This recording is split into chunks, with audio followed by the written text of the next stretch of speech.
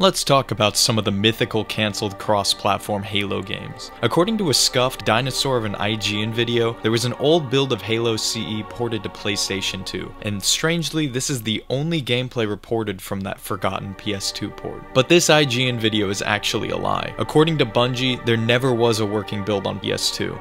This doesn't mean the game wasn't meant to have a port to PS2 before the move to Xbox though. Sony wasn't the only company that missed out on Halo. This is Halo for DS, specifically some of the only known gameplay from a Halo DS demo. While IGN once again claims that this was developed by a major studio, According to Bungie, this leaked gameplay was never developed by any game studio and was actually a modded version of a DS James Bond game, GoldenEye Rogue Agent. It's not exactly known how IGN got their hands on this weird, lost demo, but it was likely that it was produced by a fan or maybe an employee at Bungie who submitted it to IGN to review it.